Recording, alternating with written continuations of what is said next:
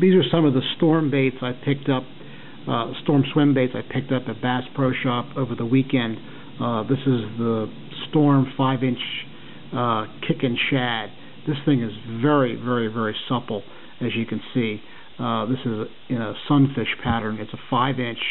It's got a pretty, pretty decent sized hook, which I think about I might replace with a single hook, just so it doesn't get hung up as much on the snags. Because this thing is 7 eighths ounce, so it's gonna it's gonna cast a, a, a mile. Um, but definitely can see where a couple of big hits from some stripers uh, or uh, some some some, some uh, aggressive largemouth might tear that. But again, I only paid four dollars a piece. This is the uh, Bass Pro Shop. It's their version. Uh, it's called a, a, a large eye shad. It's got to be made by Storm. Um, the, it, it feels the same. Uh, it's got a great color. I think this is called um, Olive Shiner, which looks about like anything that swims in any body of water anywhere in the country. But again, uh, this was only about this was about 90 cents cheaper than the Storm, and it seems to be every bit as good. Every bit as good. Um, this is a four-inch version of the Kick and Shad.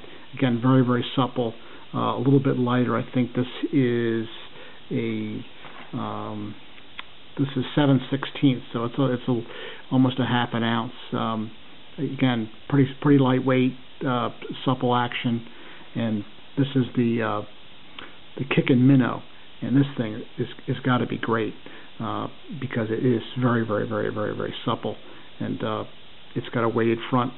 Uh, but again, this would be awesome on smallmouth and just about anything that swims. Just keep your keep your rod tip high and it won't sink. Now, my only experience with storm swim baits has been this particular lure right here, which is like a, a panfish type swim bait with a diving lip. And uh, this has pretty good action. It's a lot stiffer than these. It's not as supple, and this has a, a decent action. It's got to be tuned a little bit maybe with some um, some nail weights to get the track a little bit better. But again, pretty decent weight. But again, it's these are much more supple uh, than than that, as you can see. It's it really really wobbles.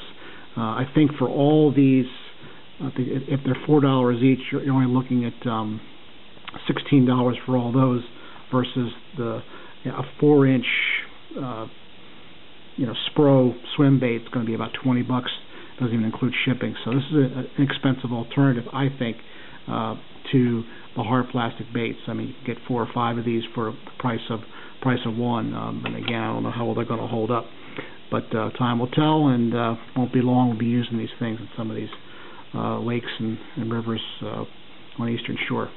Thanks for watching.